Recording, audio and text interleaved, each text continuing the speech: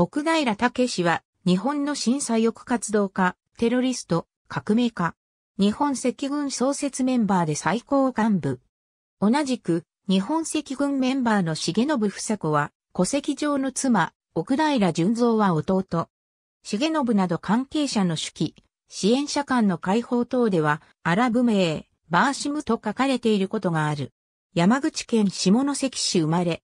1960年に山口県立下関西高等学校に入学したが、6月に岡山県立岡山朝日高等学校に転校。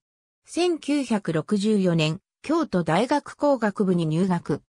在学中の奥平は、京都、九条で、セツルメント活動をしており、日本共産党系の青年団体である、日本民主青年同盟の同盟員にもなっていた。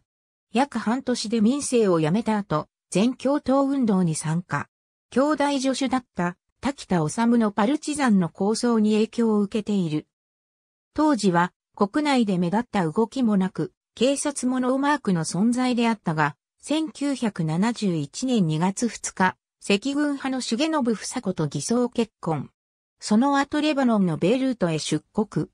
現地では、重信と別々のアパートに暮らした後、ゲリラのキャンプで軍事訓練を受けた。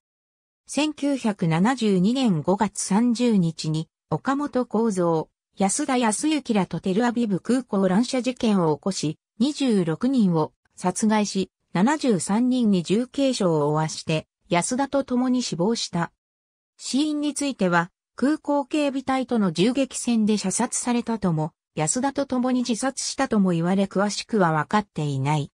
没後の1978年、田畑書店より、異文集、天よ、我に仕事を与えよが出版された。